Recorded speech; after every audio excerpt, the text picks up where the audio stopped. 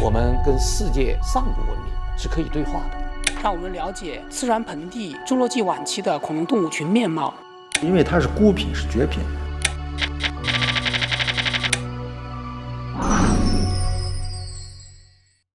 海南省博物馆两方唐伊斯兰教徒珊瑚石墓碑近日入选国家文物局第一批古代名碑铭刻文物名录。这两方珊瑚石墓碑来自海南陵水、三亚沿海一带的伊斯兰古墓葬群。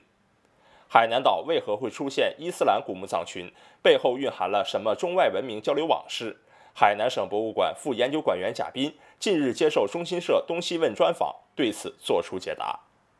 这两方珊瑚石碑之所以能入选这个名录呢，其实跟自身特点是有关的。这两方石碑，他们发现于海南东部沿海的，呃沙滩上，他们是古代来海南的伊斯兰先民在这里长眠以后留下的。我们可以仔细看一下这两方石碑。注意一下上面的一些纹饰的装饰是非常具有阿拉伯典型特点的。首先呢，这些石碑呢，它的碑首上面呈山字纹或者是龟字纹，它的上面的纹饰呢，通常的装饰有神鸟纹、有太阳纹、有花卉纹，这些都是典型的阿拉伯的装饰风格。从这两方石碑来看呢，这些已经达到了相当高的一个艺术水准。上面的文字呢，通常就是阿拉伯文和波斯文，记载的内容呢就是死者的姓名和年月，有些呢还记载了，呃《古兰经》的一些内容。这两方石碑，它是古代阿拉伯人通过海上丝绸之路，从遥远的阿拉伯半岛和东非地区来到我们的海南岛，对我们研究海上丝绸之路这一条商贸之路、文明交流之路也有很好的借鉴作用。据嘉宾介绍，一九八三年十二月。广东省政协和广东省民族研究学会组成联合调查组，首先揭开海南岛三亚和陵水沿海沙滩上伊斯兰古墓葬群的秘密，引起国内外学术界的重视。此后，海南当地各级文博单位对海南岛南部沿海地区的古墓群点进行认真勘察和清理，共确认有六处古墓葬群。目前保存最好的是三亚的藤桥墓群，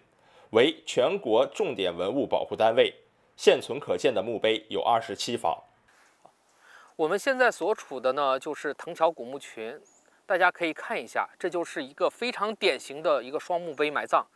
我们这个墓葬群呢，大家可以仔细看一下，它这个埋葬的是非常有特点的。除了刚才给大家介绍到的双墓碑现象呢，它们呢，第一呢就是呈一字形排列。所谓的一字形排列呢，只是指这些墓碑呢排葬很有规律，比较整齐划一。它的另外一个特点呢，就是它们埋葬于主要是这种海边的沙地上。这些墓葬经过发掘呢，它们是呃是由长边呢是有三块珊瑚石板，短边呢由一块珊瑚石板拼接而成，上面没有盖板，下面是不铺底。这个墓群呢，跟我国沿海地区如青呃如呃泉州、广州这些地方发现的呃。伊斯兰墓群相比较，最主要的一些不同点，如第一呢，就是它们的材质不同。我们这里呢是珊瑚石材质，那里呢主要是花岗岩、油页岩。第二呢，就是这个双墓碑现象，只有在海南才有发现。从这个双墓碑现象，我们经过和阿拉伯半岛和东非地区发现的这些伊斯兰墓葬进行比较，我们可以推断出我们这里的。商那个伊斯兰墓呢，具有明显的早期性，年代呢可以推断到唐代的中晚期。据嘉宾介绍，海南伊斯兰古墓葬群的发现，表明了海南岛已是当时波斯和阿拉伯商人祭帛、定居及活动场所。它为研究中外经贸活动、文化交流以及海南伊斯兰教的传播、海南南方沿海地区回族的历史提供了重要依据。伊斯兰古墓葬群。也为海上丝绸之路的繁荣提供了佐证，具有重要的历史价值。